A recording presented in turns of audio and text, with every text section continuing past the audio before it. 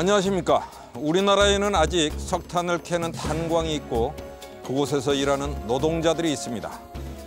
막장이라고 부르는 탄광의 작업 환경은 열악합니다. 막장 광부들의 버팀목이 되줘야 할 광산 노동조합이 요즘 시끄럽습니다. 비리 의혹 때문이라고 합니다. 사랑의 매인가 아니면 폭력인가 체벌을 두고 하는 말입니다. 오늘 PD 수첩은 학교 안에서 일어나고 있는 체벌 논란으로 시작합니다. 학교 체벌에 대한 논란은 끝없이 반복돼 왔지만 교육적 차원이라는 이유로 체벌은 지속되고 있습니다. 지방의 한 예술고등학교에서는 맞았다는 학생은 3개월째 입원 중이고 선생님은 절대 때리지 않았다고 주장하고 있습니다.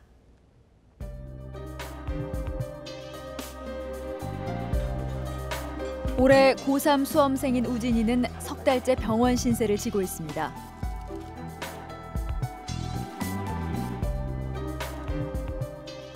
목을 크게 다친 우진이는 입시 공부 대신 재활 치료에 전념하고 있습니다.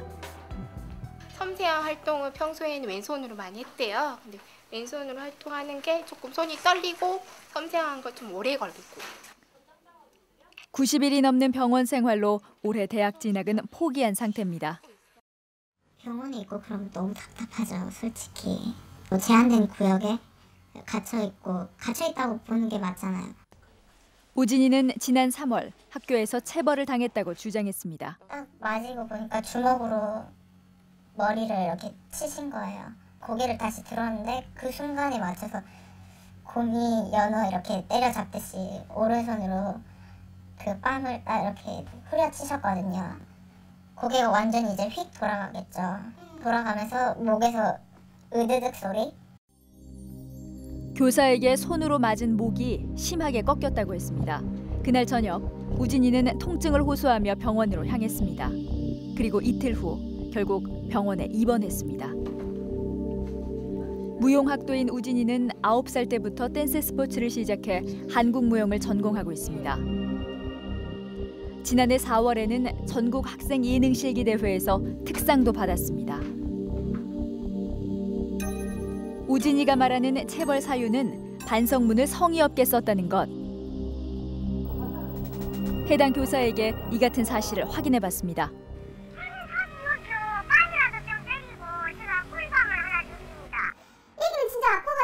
이렇게 엄마 저녁에 아파 잠을 못 자 이렇게 자꾸 이렇게 하고 있는데 선생님 때리진 않았다 그러면 나는 내가 봤을 때 어떻게 교사는 우진이를 단 한 번도 때린 적이 없다고 주장했습니다. 그 선생님이 저한테 폭행을 하는 걸 보고 동시에 일어나셨거든요. 놀래서 한 여선생님 분 입을 막을 정도로 그렇게 놀랬음에도 불구하고 당시 현장에 있던 교사들에게 확인해 봤습니다. 제가 업무 보고 있어가지고 뭘 뭐 다른 소리라든가 뭐 보지도 않았고 이제 이렇게 이제 물음표 이런 소리가 나요. 그래서 내가 얼른 일어나고 보니까 지천을 들었잖아요. 지천을 들은 소리를 들어서 내가 아 그것이 왜 그런 걸 보자. 뭐냐 반성을 싸서 줘봐라. 한평 반 남짓한 공간에 같이 있던 교사들은 당시 상황을 잘 보지 못했다고 합니다. 학생들에게도 물어봤습니다.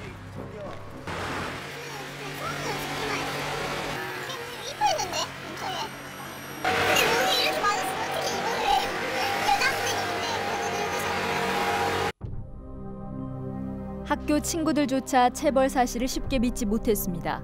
우진이는 친구들에게 증언을 부탁했지만 번번이 거절당했습니다. 심증은 있지만 말해줄 수는 없다는 게 친구들의 입장인 듯 했습니다. 그런데 후배에게서 그 전에도 해당 교사에게 맞은 경험이 있다는 이야기를 들었습니다. 이제 수업을 땡땡이 쳤다고 하죠. 아주 그랬는데 와서 걸렸는데 저는 안 맞고 학생들 다 보는데 복도에서 뺨 맞은 적도 있고 그래서 이런 인터뷰도 거의 안 해주려고 하죠. 선생님에게 반항하거나 거부하거나 밉보일 수 없는 구조다. 저는 상당히 유력한 선생님으로 이렇게 꼽히고 있는 거죠. 단 한 번도 때린 적이 없다는 교사의 주장과는 달랐습니다. 결국 우진이는 두 차례에 걸쳐 청와대 민원실에 민원을 보냈습니다. 여전히 양쪽의 주장은 팽팽했습니다. 그리고 해당 교육청에서는 조사에 들어갔습니다. 조사가 진행 중인데 어떻게 상황이 정리될지 모르는 거 아니겠습니까? 네.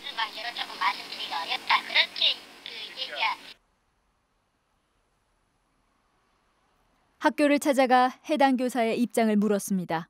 이분이 진짜 MBC 세상에 이런 허위명랑한 저 내몸 힘들게 살아온 사람이에요. 그런데 어떤 특정인에 의해서 그 아이가 하도 얽히고 대응할 줄 몰라서 하는 게 우진이는 답답한 마음에 극단적인 생각도 했습니다. 아무것도 허망하다 그냥 내가 왜 지금 이렇게 내가 맞아가지고 잘못한 것도 없이 이러고 있는 것도 안 그래도 서러운데 그런 식으로 나오시니까 제 입장에선 이제 나 하나 사라지면 되겠다 이런 생각 드는 거 있잖아요. 우진이는 본인의 이야기를 누군가는 들어주길 바랐습니다. 혹은 주변 사람들이 그 문제에 대해서 적극적으로 개입해서 도와주려고 하지 않고 어, 한발 빼면서 방관자적인 입장을 취하기 때문에 이 피해자들이 더욱더 외롭다, 내가 고립되었다라는 그런 어떤 느낌을 갖게 되면서 점차점차 무기력감에 빠지고 하지만 진실 공방은 여전히 계속되고 있습니다. 제가 안 했던 것도 했다 그런 식으로 하고 증거 없는 소문이 많이 퍼지면 정작 이런 일이 좋게 끝났다 해도 이제 학교를 돌아가면 제 밑에 애들은 그런 식으로 생각을 할 거 아니에요. 그리고 그 애들을 하루 이틀 볼 것도 아니고 어차피 나중에 사회에 가서도 봐야 되는 애들인데 이제 저는 어떻게 될지 그게 제일 걱정이에요. 이 논란은 양측의 주장이 상반돼 현재 해당 교육청에서 조사 중이라고 합니다. 올바른 조사 결과가 나오길 기대합니다. 체벌은 그 특성상 학교 밖으로는 잘 알려지지 않습니다. 그러나 우리가 관심을 가져야 하는 이유는 체벌이 피해 학생들에게 치유되기 어려운 상처를 남기기 때문입니다. 서울의 한 초등학교. 한 학생에게 가해진 체벌이 아이들 사이에서 화제가 되고 있습니다.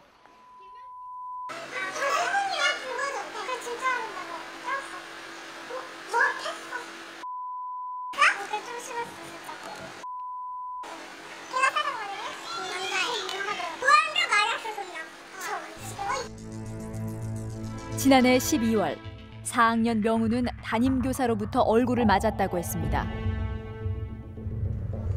명우를 직접 만나봤습니다. 아 그거는 자세하게 기억나요. 여기 있잖아요. 턱트 꼬집으면서 그 다음에 따기 때리고요. 그 다음에 아 머리 주먹으로 탁 때리고요. 그 다음에 귀막 잡아 뜯고요. 그, 그래 아 이걸요 복도에 나가서요 수, 수십 번이나. 체벌 사유는 급식 우유를 먹지 않았다는 것이었습니다. 나는 막 비틀은 줄 알았더니 그게 아니고 이렇게 쥐고 흔들고 막 뒤쪽 저쪽 때려서 그렇게 멍졌다는 게 네, 시간이어가지고요. 그날 오후 명우 어머니는 휴대폰으로 명우 얼굴을 촬영해뒀습니다.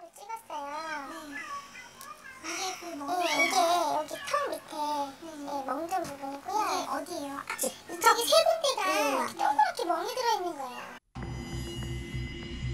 얼굴 곳곳에 멍이 든 명우는 병원으로 향했고 전치 2주 진단을 받았다고 합니다. 명우는 자기가 맞은 이유가 여전히 이해가 안 된다고 했습니다.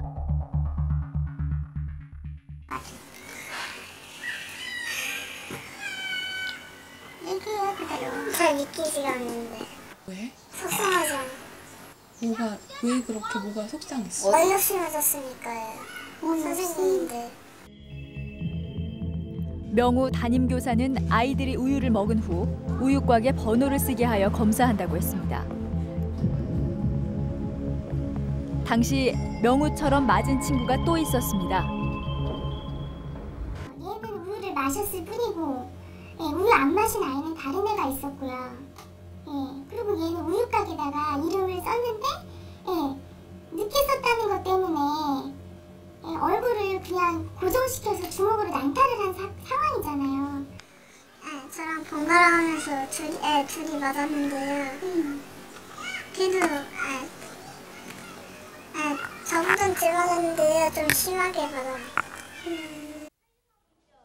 명우와 마찬가지로 친구도 많이 아팠다고 합니다. 음, 주로 머리를 많이 때리셨더라고요.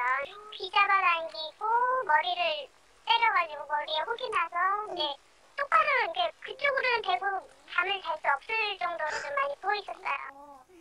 잘못을 했 사건 이틀 후 자초 지정을 듣기 위해 명우 어머니는 학교를 찾아갔습니다. 하지만 담임 교사는 심하게 때린 적이 없다는 말만 되풀이했다고 합니다. 날씨가 너무 춥고 안 살이 여려서 멍들었나 보네요. 이렇게 얘기하시는 거예요. 이렇게 명우는 자진해서 엄마에게 교육청에 가자는 제안을 했다고 합니다. 곰이 되어 있었다. 나는 이래서 학교에 다니기 싫고 전학은 가기 싫고 그래서 여태까지 그냥 있었습니다. 그리고 이 선생님이 6학년까지 학교에서 계실 수도 있어서 너무 으시시하고 몸 근데 어른들은요, 그냥 끝났다고 하고 집으로만 그냥 가자고 하시던데. 그래서 왜 울었어? 길 가다가 갑자기? 어이없어서 슬퍼서요. 체벌 사건 이후 담임 교사는 부모에게 각서도 써줬습니다. 명우 외에도 맞은 학생들은 꽤 있었습니다. 최고 심하게 맞은 애들은 어떻게 맞아? 싸다고 싸다고? 많이 애들 많아요. 뺨도 맞아요. 제가 좀 맞아보기도 했거든요. 네, 그리고? 그리고 숙제 안 할게요. 어떻게 맞았는데? 아, 이렇게 이렇게 등짝을 확 세게 때리면서 말을 갑자기 확 이렇게 세게 아, 좋아했었는데? 그 교사는 아이들 사이에선 호랑이 선생님으로 불렸습니다.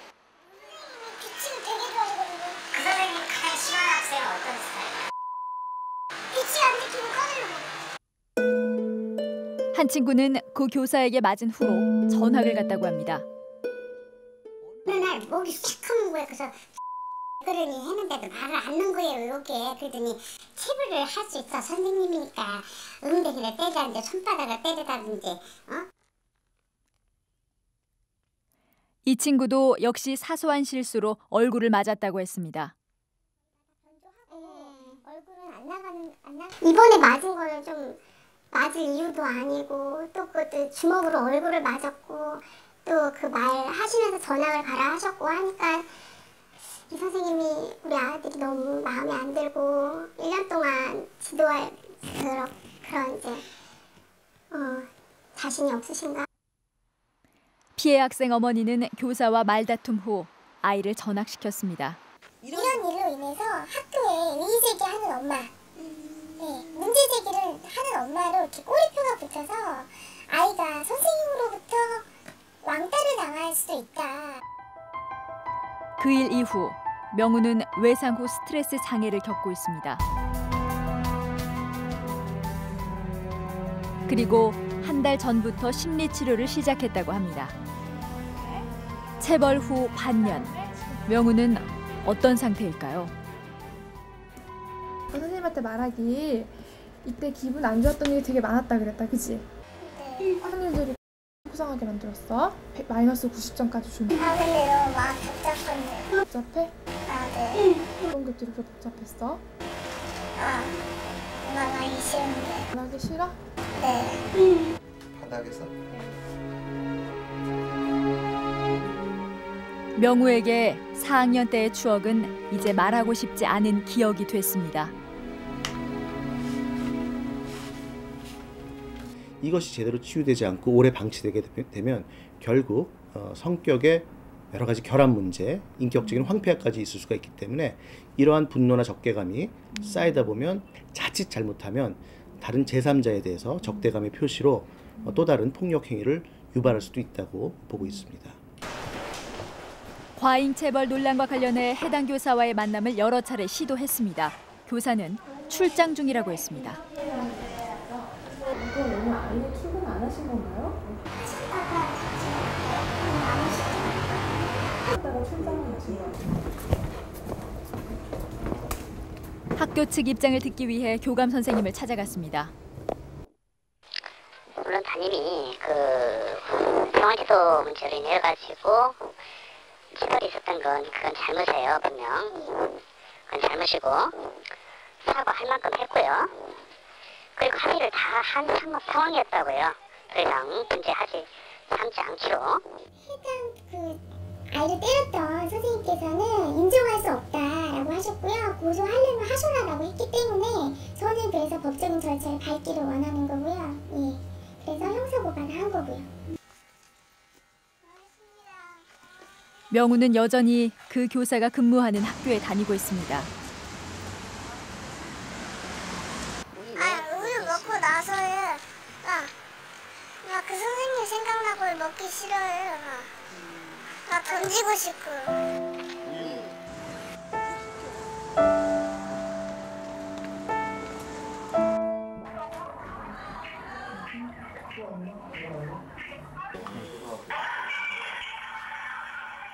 교육의 의미를 잃어버린 과잉 체벌은 학생들의 마음을 멍들게 하기도 합니다. 어, 제가 볼 땐 체벌을 하시는 분들은 습관적이에요. 자기는 그렇게 체벌하는 것에 대해서 깊이 생각하지 않고 난 지금 교육을 하고 있다 이렇게 착각을 하는 거예요. 에, 현재로서는 그런 선생님들을 관리할 수 있는 어떤 그 프로그램이 없는 것이 사실입니다. 그런 점에서 새로운 접근을 통한 어, 상습적으로 체벌하는 뭐 교사나 선생님들 같은 경우에 어, 관리할 수 있는 프로그램이 마련되어야 된다고 봅니다. 음, 체벌교사 삼진아웃제 같은 것이 가장 좋은 효과적인 방법이라고 생각을 합니다. 학생들을 위한 사랑의 매는 온전히 교육의 목적으로만 행해져야 할 것입니다. 우리의 교육법은 체벌을 제한적으로 허용하고 있습니다. 그러나 이 사랑의 매는 폭력이 되기 쉽고 그 폭력은 상습적이 될 가능성이 매우 높습니다. 그런 점에서 체벌에 대해 다시 신중하게 토론할 필요가 있습니다.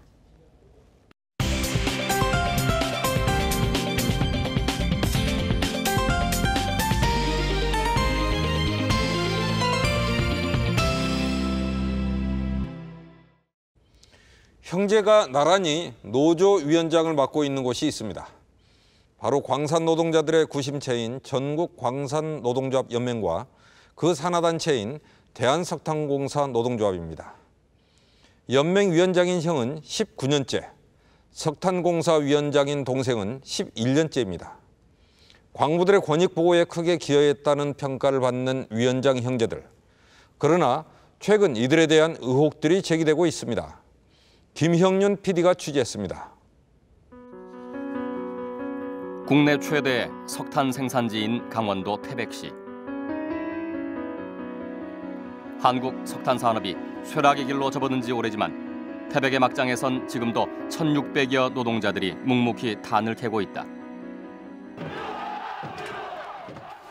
광산 노동자들의 역사에서 열악한 처우에 맞선 그들의 투쟁사를 빼놓을 수 없다.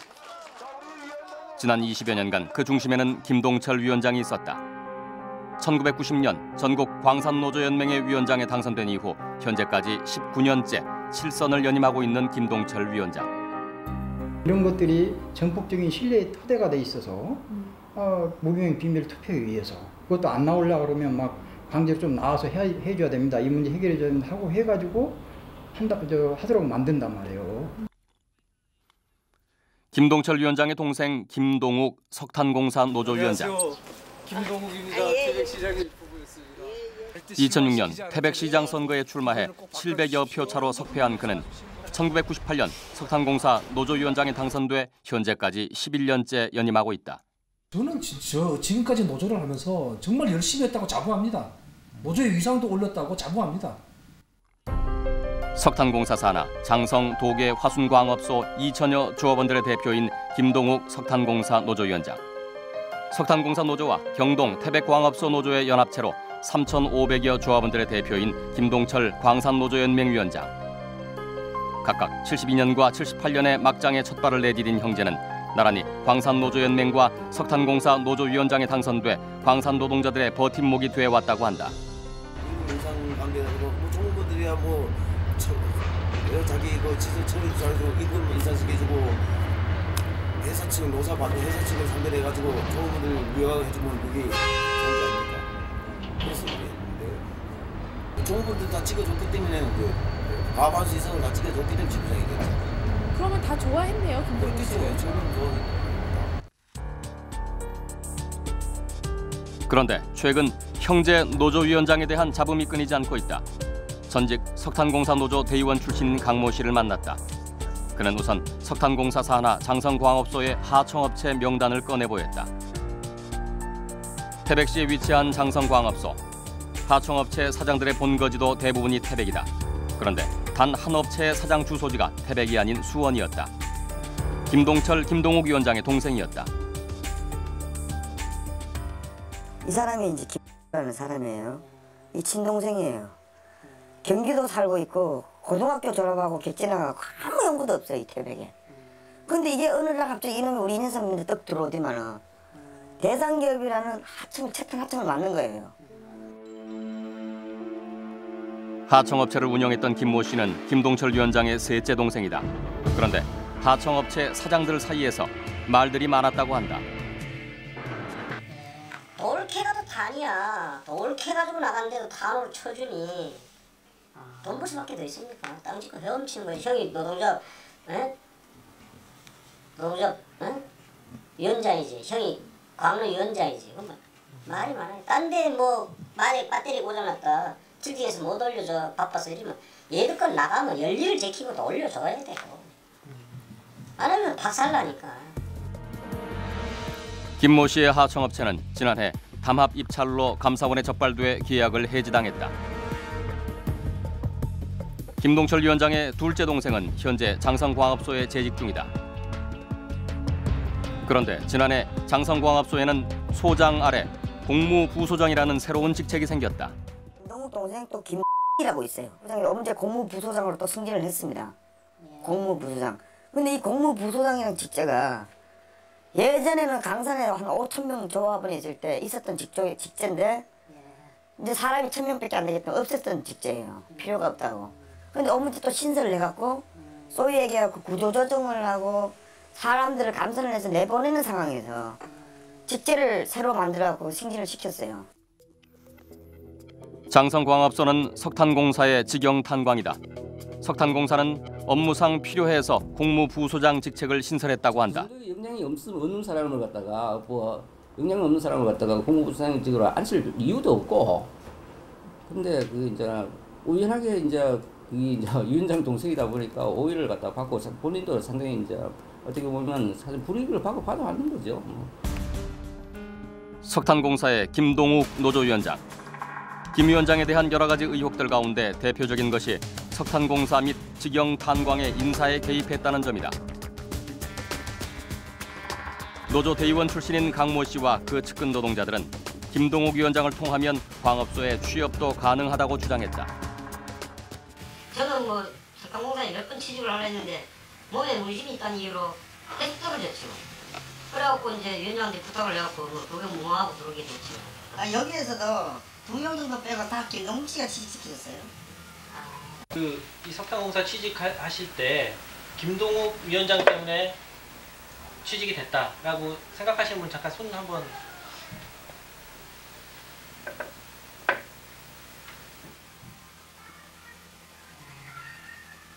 한세분 빼고 다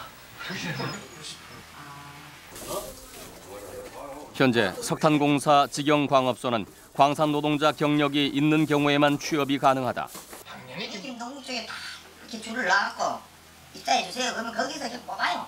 뽑고는 말 그대로 저 같은 경우도 자그 경력 없는데도 거기 경력에서 말고 받아갖고 그 어디 뭐 많이 이런 데서 뛰줘라 이러면은 그가 찾아가면 뛰줍니다.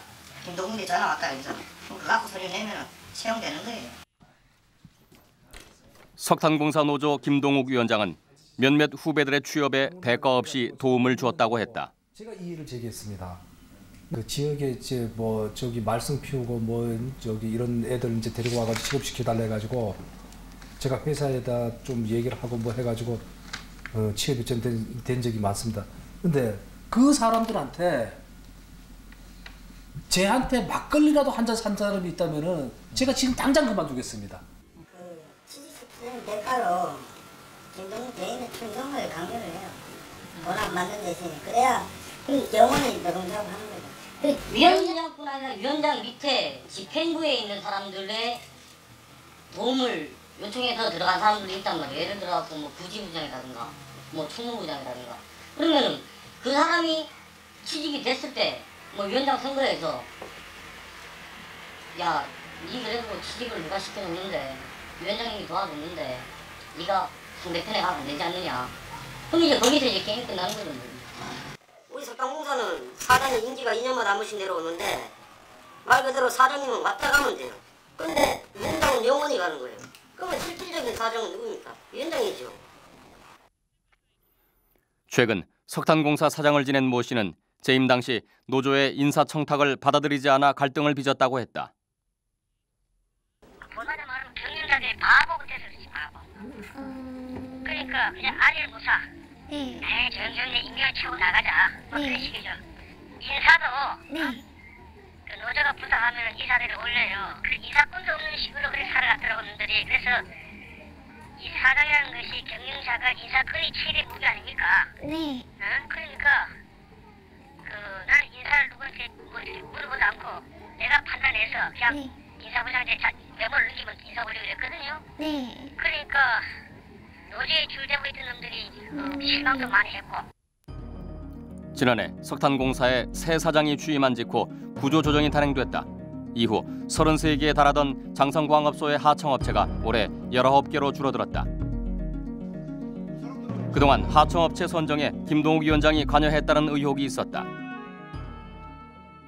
하청 사장들이 다 측근이니까 주위의 사람들이 다그 하청 사장들이 다 위- 김동욱 위원장 주위에 있는 사람들이에요. 김동욱 위원장이 하청 거를 다 지, 자지우지하고 있어요. 하청, 즉 외주 용역업체는 노동자들을 모집해 광업소에 파견한다. 비교적 손쉬운 사업이라 하청업체 운영을 희망하는 사람들이 많다고 한다. 전직 하청업체 사장을 만날 수 있었다. 그는 자신의 뜻과는 달리 석탄공사 김동욱 노조위원장 때문에 하청업체 운영을 그만두게 됐다고 했다. 부르더라고. 김동욱이 한 노동작업으로 봅시다. 그래서 갔더니 노골적으로 그러더라고. 달라고. 불러다가 달라는데 그렇잖아요. 달라는데 뭐라고 하면서 달라고 할만 안 들어도 달라는데 에? 후배 불쌍한 사람 있는데 형 좀 할 만큼도 해봐. 애들도 크고 이러니까 달라고 아주 그러더라고. 그리고 김동욱 위원장으로부터 천만 원을 받았다고 했다. 천만 원 주더라고. 천만 원 받았어요. 천만 원 뭐 지가 주는 건 아니지. 놈이 결국 주는 거지. 권리금조로 내가 하던 사업이라고 줬거든요. 우리 후배를. 줬는데 응? 형 주라고 줬다고 하고 주더라고. 그에게 2009년도 장성광업소의 하청업체 명단을 보여주었다. 지금 다 체크한 애들은 다 노동자 전임자이죠. 전임자. 19개 업체 가운데 10개 업체의 사장이 전직 석탄공사 노조 대의원 출신이라고 했다. 그러니까. 이 굴진 같은 거는 사람도 없고 힘도 들고 단가가 낮으니까 안 한단 말이에요. 그러니까 좋은 거만 다 뺏어가는 거예요. 좋은 거만. 근데 어떻게 보면 회사에서 경력이 있는 사람만 뽑다 보면 당연히 뭐 노조 전임자들이나 이런 사람들이 안 되죠. 경쟁 입찰인데. 다 이거 경쟁이라고 해놓고 아까 얘기했잖아요. 경쟁이면 말만 경쟁이지 경쟁이 얘기야. 이 사람들은 경쟁 안 했어요. 김동욱 위원장에게 사실 여부를 확인해봤다. 그래가지고 그렇게 같이 근무하다 퇴직하고 나간 사람들 다른 업체가 생길 때마다 그러면은 이거 저기 노조 전임자들도 먹고는 살아야 되지 않느냐 이런 것은 회사가 좀 도울 수 있는 길이 있으면 좀 도와줘야 되지 않느냐 해가지고 자연스럽게 매치 들어간 것이지 나머지 사람이 저하고 친한 사람이 누가 있습니까? 원래는 노동조합에서 관리를 못하죠. 하질 못해야지. 왜 이권 개입합니까 자기가? 위원장이 뭔데? 장사하면 어머니 장사하면 소장이 있는데 이 소장도 다 버려요 다. 그런데 일부 하청업체 노동자들은 자신들이 최저 생계비에도 미치지 못하는 월급을 받고 있다고 했다. 작업 종류에 따라 차이는 있지만 광업소에 직접 고용된 광산 노동자들의 일년 임금은 평균 4천여만 원. 한 하청 노동자는 직접 고용 노동자의 절반도 안 되는 임금을 받는다고 했다. 똑같은 예 그거래도 직영하고 하층하고 차이가 40% 45% 똑같은 일을 하시면서 40%라는 직영하고 대비해 그 정도 받는다는 거죠. 그러면 일의 어떤 강도나 일하는 내용은 거의 비슷한 아무래도 비싼 곳 하층이 조금은 더 힘들다 봐야죠 모든 것이. 실제로 한 하청 노동자가 지난달에 받은 월급의 실수령액은 92만 620원이었다. 모든 그러니까 사장들이 쉽게 말해서 그 금전적인 거는 돈 이런 거안 들어가고 자재 이런 데서도 안 들어간다고 봐야죠. 그러니까 쉽게 말하면은 일종의 그 사람 소개해주는 일밖에 안 돼. 그러니까 퇴직했으면은 그 자리 이제 한 사람 나갔으니까 그 사람 채워주는 그걸 이- 인원 관리비 인- 인원 관리비라는 거거든요.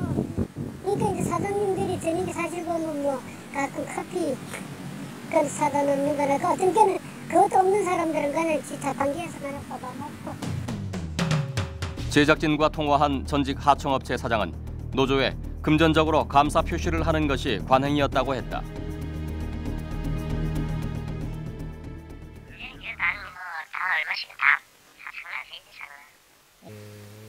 그럼 선생님도 그때 하실 때 그렇게 조금 하셨었나요? 1년에 몇 번씩을 하죠. 명절 끼기 뭐 그러면 안 그렇습니까? 그죠? 네.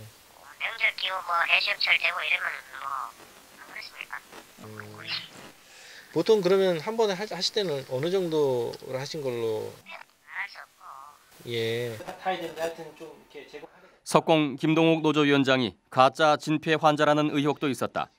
김 위원장은 진폐 3급 판정을 받아 17년째 연금을 받아오고 있다. 밑에 상대적으로 받은 말이기 때문에 근데 진짜 상급이면 자력으로 10m를 못 걸어간다는 힘이 차서 그만큼 그 준비인데 우리 체육대회 때 박부서 체육대회 오셔가지고 접근도 하시고 그런 일들을 보면은 실적으로 그분이 진폐 환자가 맞나 싶어요. 이런 게 어떨까요?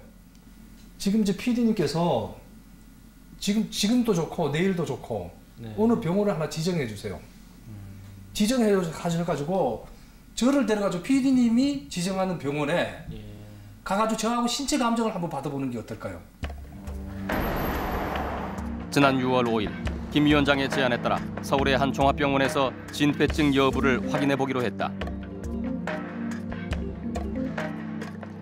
진폐 결절들이 그 각그 폐하에 전체 그 골고루 분포되어 있는 것들을 보여줍니다. 그래서 그 소음형이 검사 결과를 종합해 담당 의는 진폐 3급 소견을 내놨다.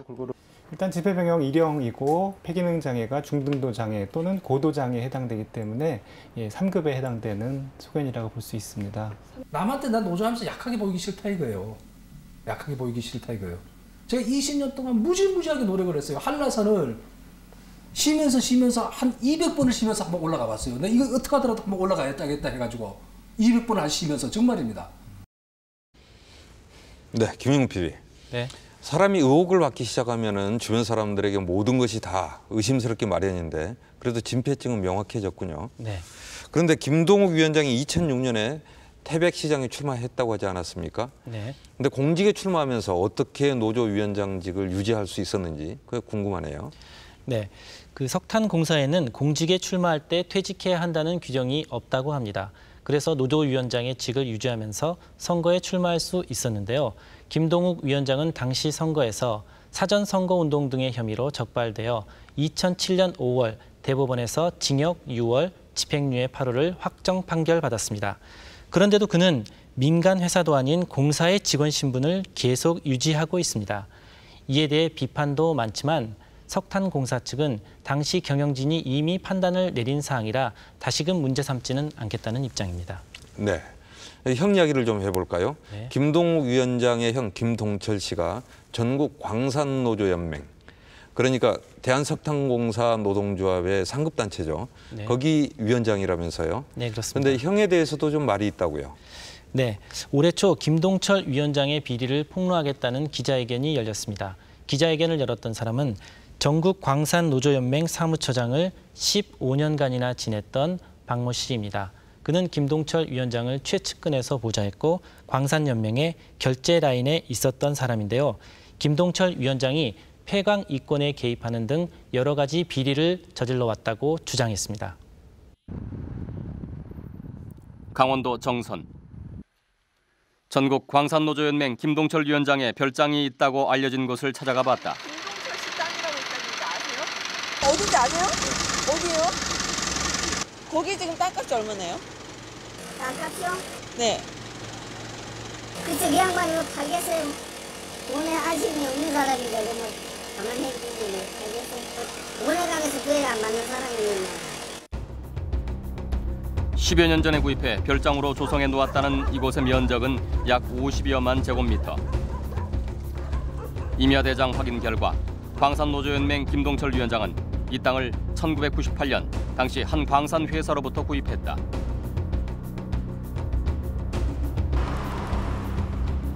광산노조연맹 소유의 빌딩이 위치한 의정부에는 김동철 위원장 소유의 빌딩도 있는 것으로 확인됐다. 빌딩은 10층 규모로 2005년에 준공됐다. 건물은 얼마나 해요, 가격이?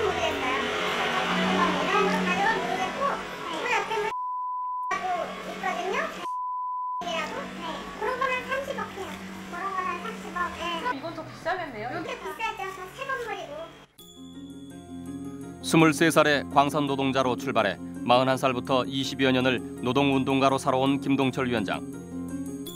김동철 위원장을 광산 노동자 시절부터 잘 안다는 모 씨는 김 위원장의 재산 형성 과정이 잘 이해되지 않는다고 했다.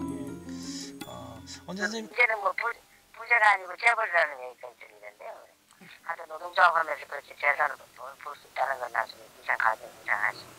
음, 과거에 그 태백의 장성 그쪽에서 이제 부모님들 같이 모시고 살았는데 탄광 입사하기 전에도 그뭐 내학과 끌고 다니시면서 뭐 식당에도 짬밥이라 그러나요? 뭐그저 이런 것들 막 수거해가지고 돼지 같은 것도 많이 기르시고 음. 그래서 그 어머님을 그쪽에 가면 뭐 돼지 엄마라고 이렇게 별명 부르기도 하고 하는데 음. 그런 열심히 일하고 고생했던 것들이 기반이 돼서 네. 뭐그 뭐 대한 재산을 좀 모셨다면 모셨다고 어, 이렇게 음. 알고 있고 그렇지 음, 무슨 뭐 노조라든 이런 걸 해서 그렇다고 나는 생각을 안 합니다. 지난 20여 년간 광산 노동자들의 처우 복지 향상 등을 위해 김동철 위원장은 삭발과 단식을 거듭하며 정부에 맞서왔다. 1999년 폐광 대책비가 신설된 것은 김 위원장의 최대 업적으로 평가되고 있다. 그런데 지난 1월 전직 광산노조연맹 사무처장이 김 위원장의 비리 폭로 기자회견을 열었다. 20여 년 동안 광산노동자 연맹 대표라는 팔을 쓰고 수백억 대의 자산가로 변신한 김동철의 자산, 자산 증식 과정이 과연 합법적이었는지 박모 씨를 찾아가 봤다. 그는 광산연맹이 설립한 강원랜드 산하 하청업체인 석광주식회사 사장을 역임했었다. 재임 시절 김동철 위원장에게 떡값 800만 원을 건넸다고 했다. 100만 원짜리 다섯 개. 그다음에 300만 원은 어, 번호 확인이 곤란해가지고 어, 저 사, 저기 저, 그는 사장직을 유지하기 위해 건넨 돈이라고 했다. 그러면 그거를 직접 건네셨어요? 김동... 아 그렇지 직접 전 건넸죠 내가. 김동철에게? 그렇죠. 뭐라고 하면서 건네셨어요? 장관 올라고 하면서 건넸죠. 김동철이 뭐라 그러는가요? 아이 뭐 이런 걸 하면서 받아먹죠. 김동철 위원장 측은 돈을 받은 사실을 시인했다. 그러나 좋은 용도로 썼다고 했다. 어, 계속 그렇게 사용을 하니까 정 그러시면 그 조직이 적어서 이제 어려움을 겪는 조직들이 많습니다. 저하수가 이렇게 가가 작기 때문에 그런 조직에 그러면 어, 좀 도움이 되도록 자기를 대신에 전해 주십시오. 그걸 받아가지고 태백소에 있는 그모 탄광 노동조합에 300만 원을 줬고 음. 수표로 또또 다른 한 탄광의 노조에 200만 원을 줬다고 합니다. 나머지 300만 원은 강원랜드 부근에서 받았다고 한다. 자기가 이제 석광 대표이사를 맡아서 경영을 해야 되는데 어, 내 성격상 지역 사람들하고 좀 유대도 하고 이렇게 해야 되는데 성격상 내가 술도 잘 못하고 많이 못하고 잘 어울리지 못하니까 나를 대신해서 연장님 좀 지역 사람들하고 유대를 강화하는데 좀, 좀 보태서 써주십시오. 그래서 그날 저녁에 이제 그 지역에 계신 분들하고 뭐 저녁도 좀 하고 뭐 오락하면서 그걸 썼다고 얘기를 하거든요. 1990년부터 15년 동안 광산노조연맹 사무처장을 지낸 방 씨는 김 위원장이 폐광 이권에도 개입했다고 주장했다. 1999년 정부가 신설한 폐광 대책비. 폐광 등으로 일자리를 잃은 광산 노동자들은 13년 이상 근속 시 41.9개월분의 임금을 위로금으로 받게 됐다. 폐광 업체 측에도 대책비가 지원됐다. 그런데 광산 사업주 측과 노동자들이 이 폐광 대책비를 지원받기 위해서는 광산 노조연맹 위원장이 날인한 폐광 합의 확인서를 정부에 제출해야 한다. 부터 현금을 받거나 폐광된 광산의 고철 처분권증을 준다는 등의 조건이 없으면 확인해, 주, 확인해 주지 않고 있다가 개인의 이익이 내용이 은밀히 합의되면 제3의 고철 장사를 추천 그, 그분과 계약하여 기로당 일정의 리베트를 받았습니다. 2004년 10월에 폐광된 동원 탄조에 근무했던 임병삼 씨. 이제 철문, 철문을 막아서 사람들이 출입을 못하게 해요. 들어가면서 다칠까 봐 아니니까 출입 못하게 막아놓은 거죠. 당시 정부의 폐광 대책비 지원이 늦어져 노동자들이 고통을 겪었다고 했다. 동원 탄주와 노사가 폐광에 최종 합의한 지 한 달이 넘도록 광산연맹의 김동철 위원장은 어떤 이유에선지 폐광 합의 확인서 작성을 해주지 않았다고 했다. 이걸 할때 이 도장을 이제 안 찍어주니까 계속 이제 밀린 거예요 이게. 그래서 저희들이 버스 한대 대절을 해가지고 이제 올라간 거죠. 퇴직금을 받아야 되니까. 그래서 이제 올라가서 김동철 위원장이 처음에는 이제 없었어요. 그러다가 이제 저희들이 점심 먹고 들어오는 걸 이제 잡아가지고 그래가지고 이제 막 이제 어떤 뭐 닥달을 하고 막 멱살을 잡고 뭐 이제 실랑이가 벌어졌죠. 네. 거기서. 그래서 저희들이 김동철한테 너 커미션 받으려고 한 게 아니냐 뭐 하다 보니까 자기는 그런 적이 없다. 그런 건 뭐 사실이 아닐 거 아니겠습니다. 야, 폐광해가지고 탄광을 다 버리고 경영하는 사람들이 어떤 사람들입니까? 근데 탄광 그만두고 나가는데 노, 김동철 위원장하고 관계가 끝나는 거야 사실은 노사, 노사 관계가. 근데 그분들이 김동철 위원장한테 당신 이거 싸게 가져가시오 주겠어요? 몇해 전에 폐광된 탄광의 소장이었던 이를 만날 수 있었다. 왜 다른 회사하고는 어떻게 되는지 난잘 모르겠고 우리 회사하고 관계는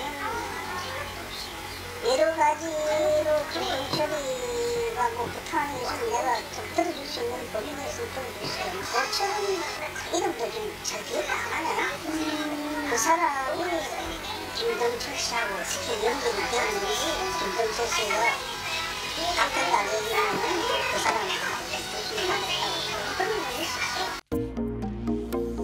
광산노조연맹 위원장으로 19년, 석공노조위원장으로 11년. 형제는 그 기간 동안 큰 경쟁자 없이 연임을 거듭해왔다. 그런데 지난해 강모 씨가 석탄공사 노조위원장 선거에 도전했다. 그러자 김동욱 위원장이 한 가지 제안을 해봤다고 한다. 선거에 지는 쪽은 퇴사하자는 것. 그 협의서를 여기 우리 집으로 가져왔어요. 그러면서 남자라면 찍을 것이다. 그러니까 제가 저도 그래도 남자인데 빨끈거려갖고 제가 찍었죠. 그 도장을 협의서에. 그러고 나서 그 다음날 이 선거 공고를 붙이고는 니 출마를 하고 퇴직원서 내고 출마해라. 그래서 제가 어쩔 수 없이 조합원들인데 이런 걸 알리기, 알리기 위해서 퇴직원서를 내고 출마를 한 거예요. 결심을 한 거예요. 이제 강 씨는 75대 25 압도적으로 패했다. 회사도 그만둬야 했다. 그건 거짓말이죠. 거짓. 말이 안 맞는 소리죠 그런 거는.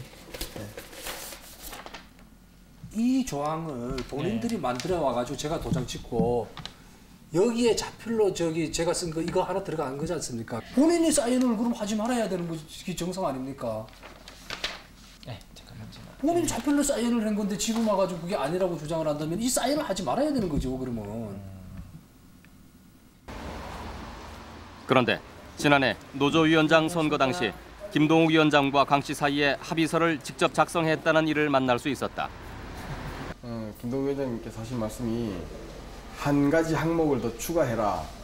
이게 뭡니까? 여쭤봤더니 이 선거에 지는 사람은 무조건 퇴직하기로 한다. 그리고 퇴직계를 미리 써서 제출하지 않으면은 선거에 입후하지 못하게 한다.